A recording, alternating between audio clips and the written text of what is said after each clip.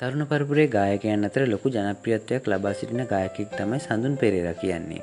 සඳුන් ආපු ගමන් මග ගැන දුක්බර සංවේදී කතාවක් මේ විදිහට එලි කරලා තිබුණා. මේ ඒ කතාවයි. මං පොඩි කාලේ ඉඳන් අම්මත් එක්ක ළඟින් ඉන්නේ. මම මේවා කියන්නේ අපේ අම්මලා විඳපු දුක වේදනාව ඒ බර වේදනාව ආයේ කවදාවත් අම්මගේ කරට එන්න දෙන්නේ නෑ. මට මේක හොඳට මතකයි. මම මේ කතාව කිසිම තැනක කියලා නැහැ. මං පුංචි කාලේ ඉස්කෝල යන්න පාන්දර නැගිටිනවා. නැගිටලා අම්මා මාව කඩේට යවනවා. අම්මා එතකං උයනවා. මට උස නැහැ එච්චර. මම කානුවලින් පැනලා පාන් අරන් එන්න යනකොට කඩේ මිනිස්සය අපෝ අදත් මූසලේ ආවද කියලා එලවනවා. අපිට ඒ කාලේ සල්ලිත් නැහැ. පොතට තමයි අපි බඩු ගන්නේ. පාන් භාගයක් අරන් එන්න යනකොට අපෝ මූසලයා අදත් ආවද කියලා අහනවා. සමහර දවසට යාළුවගෙන් රුපියල් දහයක් ඉල්ලගෙන ගින් ටොපියක් හරි අරගෙන පස්සේ තමයි ණයපොත දික් කරන්නේ. මන් දැන් මූසල නැද්ද කියලත් අහනවා. දවසක් මම ඉස්කෝලේ ගිය වෙලාවක අපේ අම්මට ඒ මනුස්සය ගහන්න හදලා තිබුණා. මං එදා හිතාගත්තා මගේ අම්මට බැනපු මිනිස්සුන්ට දවසක මම කවුද කියලා ලංකාවේ ලොකු තැනකට ගිහිල්ල පෙන්නනවා කියලා.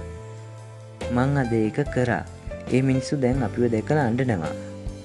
මම ඉස්සර වේල් දෙකයි කන්නේ. අම්ම මට කන්න දීලා බඩගින්න ඉන්නවා. ආයිත් එහෙම වෙන්න දෙන්නේ නැහැ. මට අතට සල්ලියක් ආවනං කළේ ඒ අම්මෝ සතුරු කරපු එක. මං කැම්පස් සිලෙක්ටුනා. ඒත් ඉගෙන ගන්න තරම් සල්ලියක් තිබුණේ නැහැ. ඒ නිසා මං මගේ හැකියාව තියෙන පැත්තෙන් ඉස්සරහට යන්න තීරණය කළා. අම්මා මුලින් අකමැති වුණා. ඒත් පස්සේ අම්මා ආශිර්වාද කරන්න ඇති. ඒකයි මං අද මෙතන ඉන්නේ. නැති බැරිකම් නිසා ජීවිතේ නවත්තගත්ත ගොඩක් මිනිස්සු අතරේ සඳුන් හරි ධෛර්යවන්ත තරුණයෙක්. ලොකු තැනකට අවම තමන්ගේ අතීතය අමදක් කරන මිනිස්සු අතරේ සඳුන් හරි අවංග කලාකාරයෙක්. මේ හැමදේකටම වඩා සඳුන් තමනුව අදපු හදපු තමන් නිසා අනේක දුක්විඳපු අම්මාට දේවත්වයෙන් සලකන හොඳ පුතෙක්. අගේ කළ යුතු තැන් අගේ කළ යුතුයි. සඳුන් ඔබට තෙරුවන් සරණයි.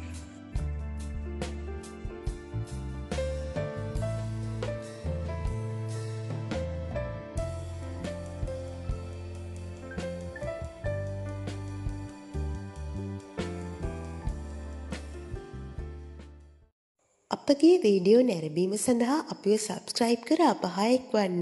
ඒ වගේම බෙල් බට්නේ ක්ලික් කිරීමෙන් අපගේ නවතම් වීඩියෝ ඔබට එසනින් ලබාගත හැක.